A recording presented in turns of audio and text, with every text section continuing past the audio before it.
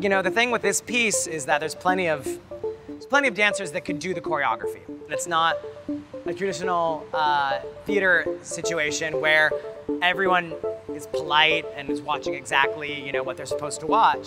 People will be chatting and all of this, so they really have to pull attention.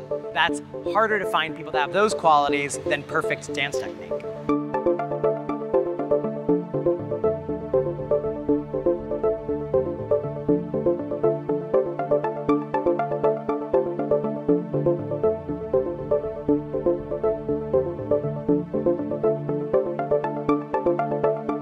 This piece kind of fits into uh, other other pieces that I've made, sort of testing and twerking that um, that relationship between the audience um, and and the performer.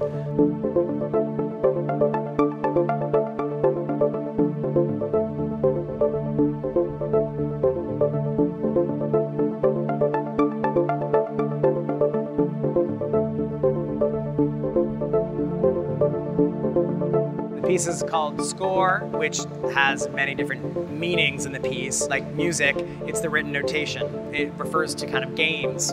And obviously there's sort of gaming element. It also means um, 20. And so there was 20 dancers doing 20 performances in 20 minutes.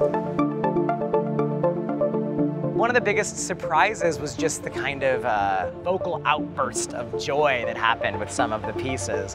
You know, I mean, in rehearsal, there's no reaction. Mean, it's very um, austere in, in rehearsal. And so for this, it becomes wild. That was great and, and strange.